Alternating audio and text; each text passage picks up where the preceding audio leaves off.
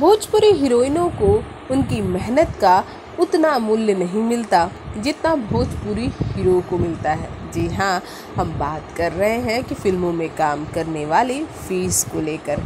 Bhojpuri industry में कई ज़्यादा आगे हैं भोजपुरी इंडस्ट्री के सुपरस्टार। जी हाँ भोजपुरी इंडस्ट्री में अगर देखा जाए तो मेल आर्टिस्ट को ज़्यादा पे किया जाता है। वहीं फीमेल आर्टिस्ट बहुत ही कम पैसे पाती हैं।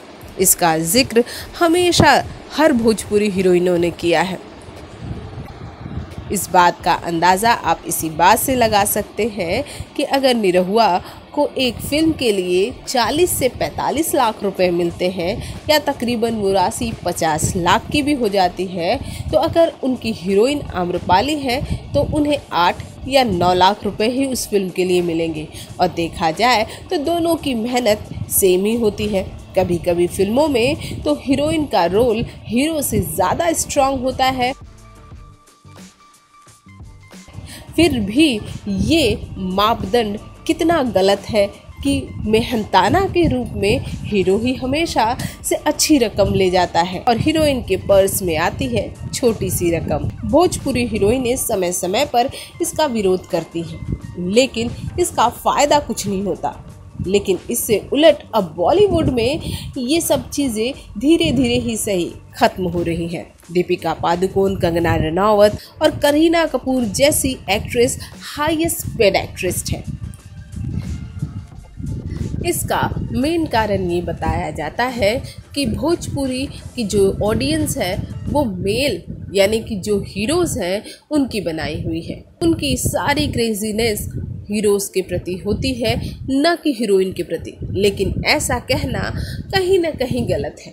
अगर आपको यकीन नहीं है तो उठा लीजिए सोशल मीडिया के कोई भी अकाउंट। आपको पता चल जाएगा कि भोजपुरी में हीरोइनों की दीवानगी सबसे अधिक है। इसका जीता जागता सबूत है अक्षरा सिंह। जी हाँ अक्षरा सिंह की फ़ैन फॉलोइंग आप इंस्टाग्राम पे देख लीजिए।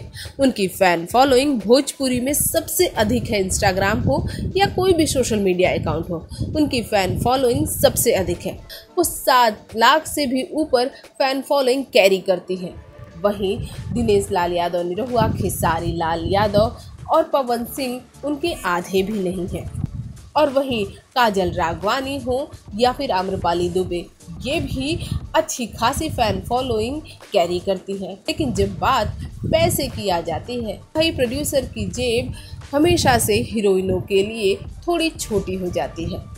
हीरो को तो वो इतना बड़ा ह्यूज अमाउंट देते हैं, लेकिन हीरोइन के लिए सिर्फ़ उन्हें पेड़ों के इर्द गिर्द नाचने वाले ही समझते हैं। अगर न समझते तो हीरो के आधा तो पैसा ज़रूर देते।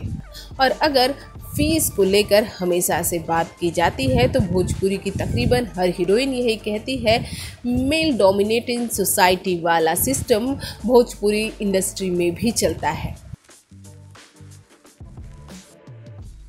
और इस बात का दर्द भोजपुरी हीरोइनों की आँखों में साफ़ साफ़ देखा जा सकता है।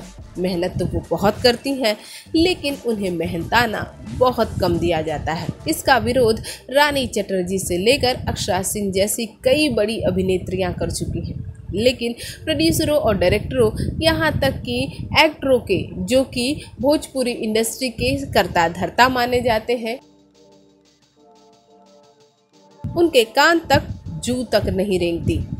खैर, यहाँ बात जब मेहनत की होती है तो ऐसा लगता है कि दो चार फाइटिंग सीन करने से भोजपुरी इंडस्ट्री के हीरो ज़्यादा मेहनती नहीं हो जाते। एक फ़िल्म को हिट कराने में जितना योगदान भोजपुरी हीरोज़ का होता है, उतना ही योगदान भोजपुरी हीरोइनों का भी होता है। इवन ये लगता है कि हीरोइनों का ज़्यादा होता है। क्योंकि हीरोइनों की फ़ैन फॉलोइंग कहीं ना कहीं हीरो से तो ज़्यादा ही है। का सबसे ताज़ा और जीता जागता उदाहरण आज की सोशल मीडिया है। भोजपुरी जगत की हॉट और मसालेदार गॉसिप के लिए हमें सब्सक्राइब करना बिल्कुल ना भूलिए।